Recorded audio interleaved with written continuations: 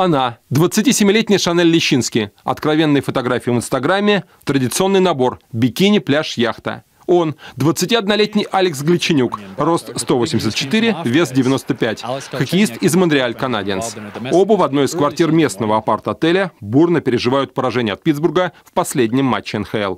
В 8 утра соседи вызывают полицию. Домашнее насилие почти официально в США и Канаде приравнено к преступлению против государства. По этой причине попрощался с клубом Лос-Анджелес Кингс Вячеслав Воинов. И еще с десяток звезд первой хоккейной величины вынуждены были объясняться в зале суда. Дело Лещинский-Гольченюк в этом списке могло бы появиться через запятую, если бы не одно «но».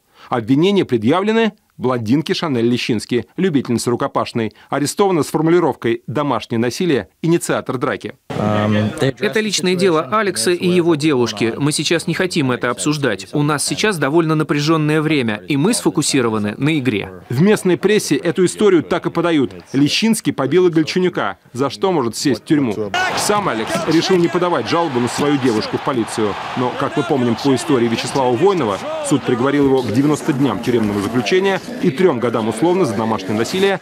Местным правоохранительным органам до заявлений сторон особо дела нет.